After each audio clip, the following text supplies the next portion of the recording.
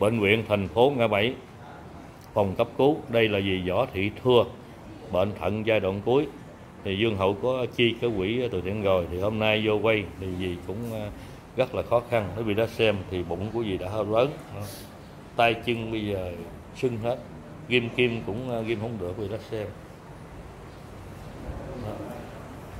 Giò thì cũng sưng luôn. Cuốn một mạng người bằng xây bảy kiển chùa thì hôm nay Dương Hậu cũng ờ, từ thiện ở bảy cũng đi cùng Như Hồng. À, thì ờ, Như Hồng trao 500 ngàn của nhà hảo tâm USA đi Như Hồng. Đây là 500 ngàn à, của nhà hảo tâm USA à, xin mời chị Dạ. Cảm ơn nhà tài trợ. Mua một tài trợ cho tôi tôi tiểu đường. Dạ. rồi suy tim rồi bị thận rồi bị khớp rồi nó mới dân giờ đi không được. À, quý vị đã xem nhờ thì bà à, hảo tâm hỗ trợ giùm cảm ơn. Dạ. à, sau khi à, dì nhận 500 ngàn cũng lời gửi lời cảm ơn sâu sắc đến nhà hảo tâm USA Dương Hậu hy vọng rằng video này được nhiều nhà hảo tâm giúp cho dì Võ Thị Thưa bệnh à, thận giai đoạn cuối và suy tim tiểu đường. Rồi.